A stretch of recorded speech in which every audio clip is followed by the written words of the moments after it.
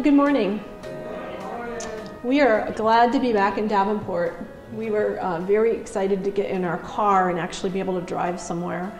Um, we have been in, um, I was trying to count, 11 different cities since last time we saw you, probably been on about 50 different trains. I think we've been in at least 25 to 30 pastry shops um, and um, have had just some really grand experiences. Uh, we just got back from a missions trip, for those of you are not aware of that. Scott and I have um, just come back from our fifth trip with Dunamis Ministries, Bill and Carol Do. And um, I'm just going to introduce um, what we've gone through in the last couple of weeks, and then Scott's going to um, talk about what we actually experienced.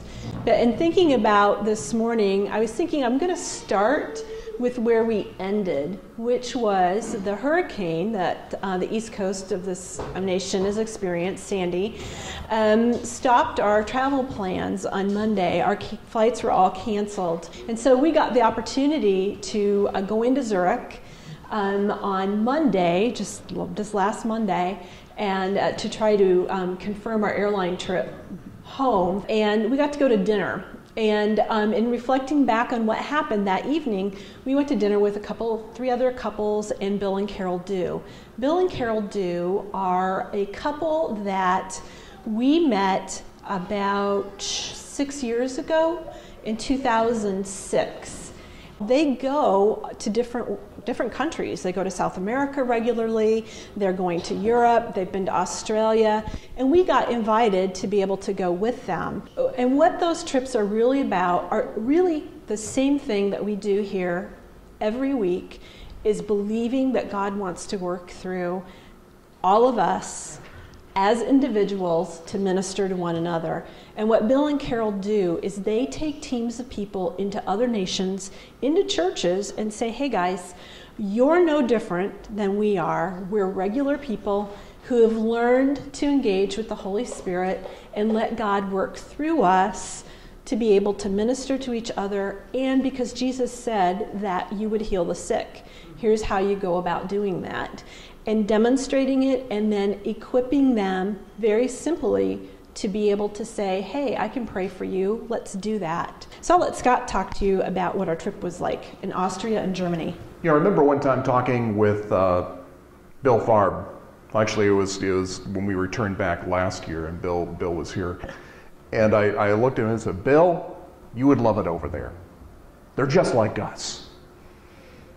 Uh, you know, Bill and I are not exactly known for being the most vibrant, emotional people. And in many ways, you know, the, the, the, Germans do fit the stereotype that many of us have of the Germans. You know, for quite a bit, they they, can be very stoic, they can be very precise. Really, much of the European and the German culture, you, you, you take out as far as the language barrier, the culture is, is very, very similar. You know, you head down to uh, South America, and that is much more of a stepping into a different world.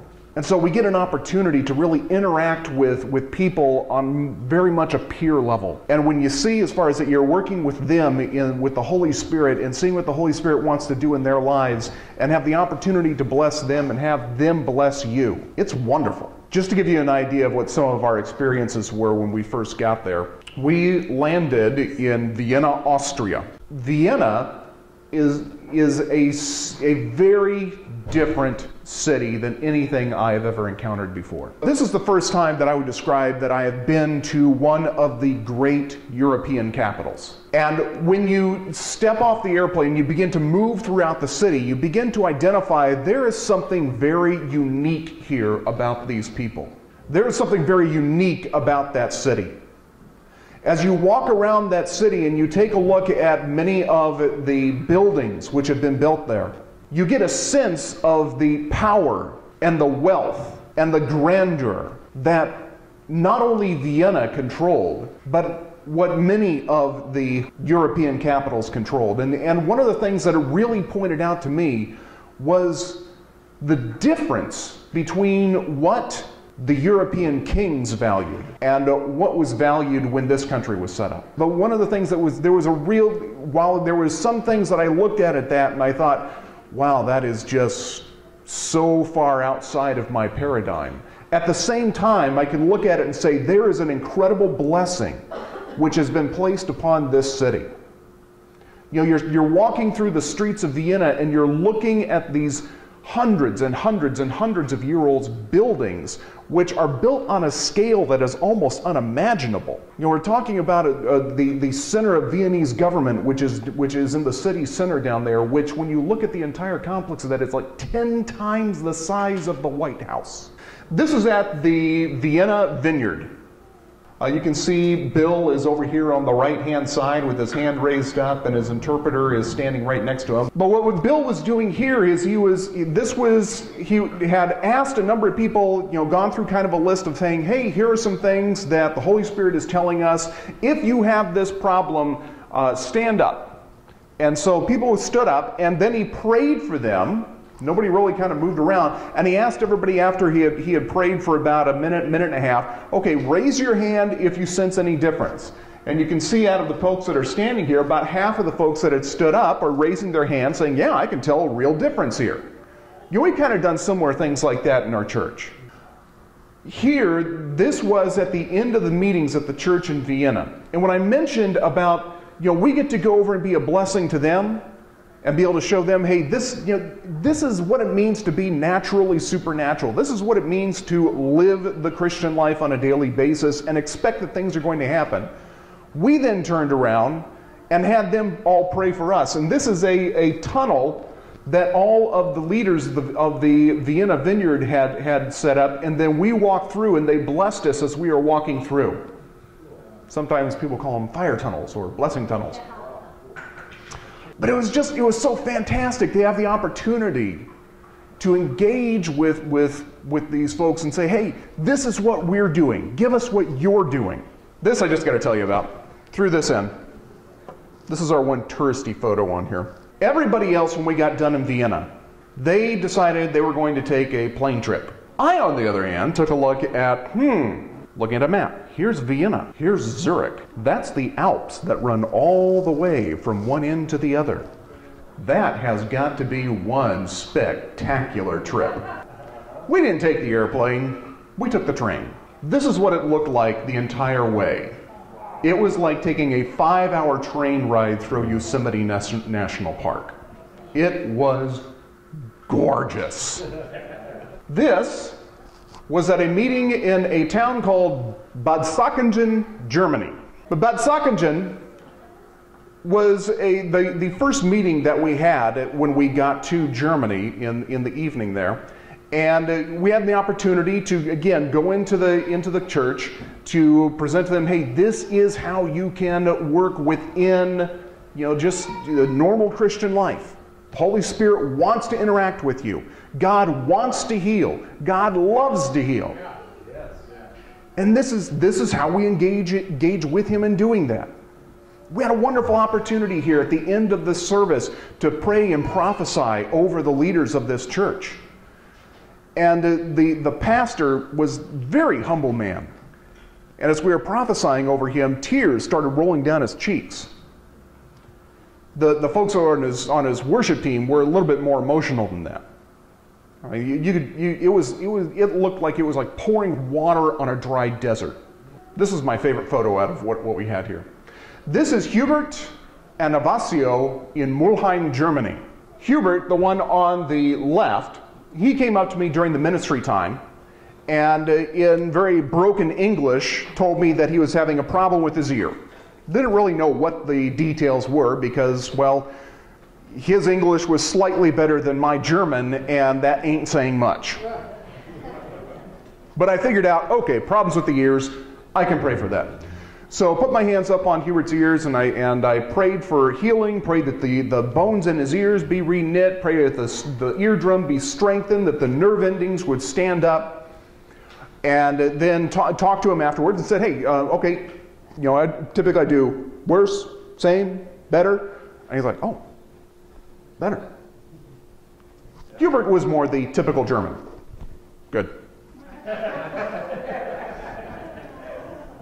so Hubert left, and I prayed for a couple other folks. Then Hubert and Avasio, his friend here in the red jacket, Avasio is actually, he's Italian, but in that part of the country, you're kind of sitting right there at the confluence of where there's Switzerland, Italy, France, and Germany all sitting right together. So you get a real mix of a lot of folks from around the, around the continent. And Avasio speaks much more, much better English. And he comes up and says, oh, Hubert came up, he had uh, uh, uh, ringing, uh, to, to, and I said, tinnitus? And he goes, yeah, tinnitus.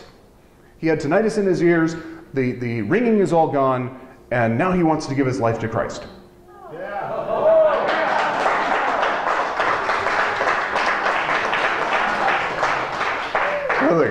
cool. So I got to pray, you know, a very short prayer with Avasio uh, interpreting with me uh, to lead Hubert to invite Jesus into his heart. And, uh, you know, Avasio being an Italian, he was much more expressive. he, was, he, was, he was jumping up and down. He was happy. God really loves it when you decide, I want to have a relationship with you. Mulheim also was, an op- was a place where you had an opportunity to sit down and do a lot of sozos with people. Sozo is, is a type of prayer counseling that Susan, myself, Gary Jones, Gary Ellis, a few others have been trained in trained in, excuse me, and uh, we sit down with the folks and we our job is to listen to where the holy spirit wants to go what questions need to be asked. And the job of the person which is receiving ministry is to listen to what are the answers that the holy spirit is giving them. And as we walk through this model of what is called listening prayer we navigate through whatever you know issues are that they want to uh, address or whatever issues are that the Holy Spirit wants to address at the time. And you see tremendous freedom come out of of those instances. So we had an opportunity to take several people through Sozo on this trip as well and really see some uh, um, improvements in their situations. Schopfheim we got to go back to. It's one of the two places that we went on our first trip and our last trip. Schopfheim, when we got there, was a very, first time we went there, you could tell, was a very oppressed city. Schopfheim, we went there two years ago, we went there this year, we, uh, or last year, and we went there this year. It is amazing to see the change that has taken place in that church. The first year that we went there, it was, for lack of a better way to describe it, anemic. The pastor had just taken over after I think five pastors had gone through and tried to do something in that area and just could not have a breakthrough. Over the last two years, you'd look at that church today and you would not recognize it. The youth are on fire.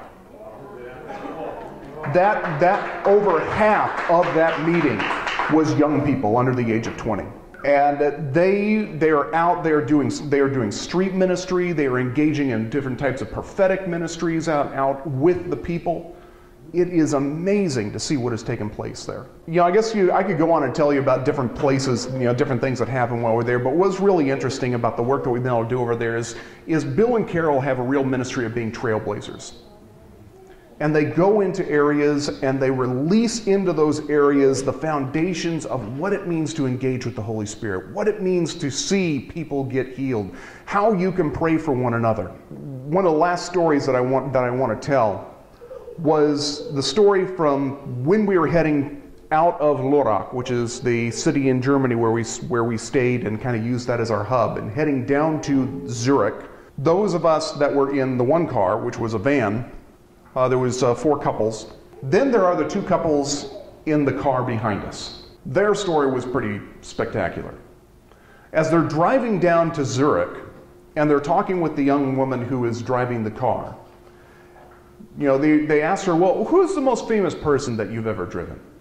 And she kind of him haws around, and, and one of the guys just kind of jokingly says something about, oh, well, you know, you got two famous people in the back seat here, referring to Bill and Carol and the work that we've been doing and all the folks that they've been speaking to. And so she asks, well, what do you guys do? And so Bill is describing what, they, what we've been doing over the last couple of weeks. And she looks up in the rearview mirror and she goes, what's your name? And he tells her what we're Bill and Carol do, she busts out crying. Turns out, this woman had two of her very good friends that had gone to the meetings in Lörrach, had gone to the meetings in, I think, Mülheim, and she had desperately, desperately wanted to get to the meetings, but she had to work. And now she has an hour and a half of one on one time with the people that she was hoping to be able to go see, and they wound up ministering to her, praying for her. At one point, they're on the Autobahn, they're trying to get down to, to, to Zurich. She is crying, her hands are shaking, and Dave Miller's sitting in the front seat. You want me to drive? but we just don't really think about as far as how, how we can impact people in these ways, in, in what we're able to do over there. Because, you know, where as much as they were a blessing to us, it really was something different for them to experience in many cases. We saw a lot of people get healed. We saw a lot of people get set free of, of, uh, of different things. And what we wanted to do this morning, we want to pray for one another. We want to minister to one another. So, first thing I would ask if you have a pain in your body, stand up. The rest of you are going to be the ministry team. This is what we're going to do. We need at least one person to go to each person that is standing up. So if you're standing up for prayer, raise your hand. One person go to each of these folks. And when you get someone that comes up and puts their hand on your shoulder, put your hand down so we'll know who's, who's getting prayer and who's not. Okay, good. I think we got everybody covered. Now, for those, for that person who wants, who is seeking prayer, in 20 seconds, tell the people who are going to be praying for you where does it hurt, what's the problem. 20 seconds. That's all. Not a life history. 20 seconds.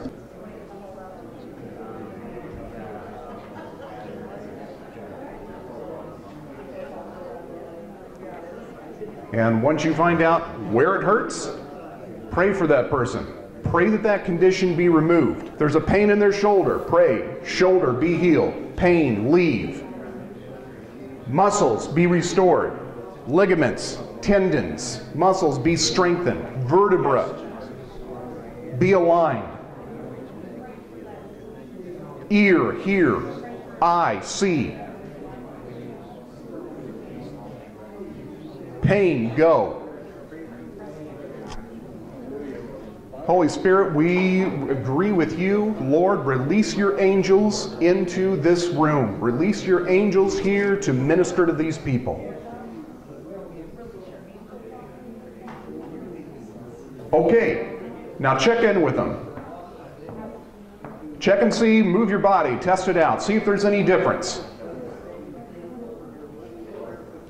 If you need to bend over to check something, bend over. If it helps you to lift your legs, lift your legs. Move your arms. Check and see if that condition has changed. Now, if you have seen any improvement, doesn't matter whether it is 10% or 100%, if you've seen any improvement in your condition from where it was just a moment ago, wave your hand. One, two, three, four, five, six, seven. Yeah! Praise God. Folks, that's what's called healing. That is a good thing.